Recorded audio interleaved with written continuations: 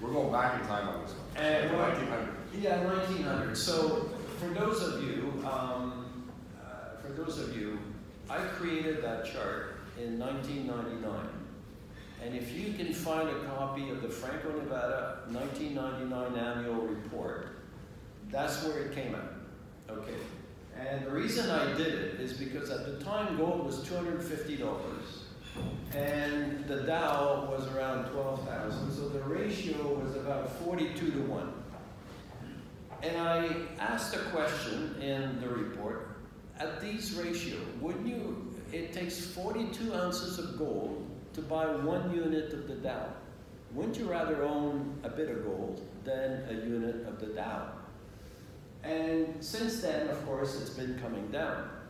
So when you look at the ratio over 120 years, what the ratio really is all about, it's about the ratio of financial asset to hard asset over time. And there, there are clearly times where you want to be in financial asset. I mean, know, from 1980 to 2000, absolutely no question. From 1940, after the war, 47 to 1966, clearly um, you want to be in financial asset. But there are other times where hard asset, you know, do a heck of a lot better. The, the part that's interesting about the ratio is that uh, both in 1934 and 1980, the ratio came back to essentially one to one. So in 1980, the gold price was $800 and the Dow was 800, one to one. In 1934, the Dow was 36 and the gold price was 35. So one to one, essentially. Um, and these two um, were about 46 years apart. So we're now 38 years into the next cycle, long, long-term cycle. Uh, and also, when you look at the, uh, the last cycle from 1966 down to 1974, then it rebounded up to 1976 uh, before when uh, hitting the, the high in 1980. Well, look here. We've had exactly the same thing. From 42, it went down to 60 to 4, 6.4 to 1, and now it's back up at 18, and it seems to be starting to roll over. And then the next phase will be the phase, the blowout phase, where it goes to one to one.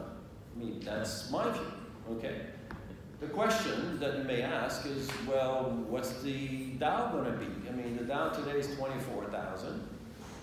Um, again, very interesting. In 1929, the Dow was 360. By 1934, it was 36 it lost 90% of its value. Um, and the gold went from $20 to $35. In 1980, very different scenario. The gold actually peaked, uh, the, the Dow peaked in 1966 at 1,000, went down to 600 by 1972. And then by 1980, it plowed its way back up to 800 when they reached parity. So in the next phase around, can the Dow be 20% less than it is today? Certainly. Can it be, you know, 50% less? Maybe, I doubt it.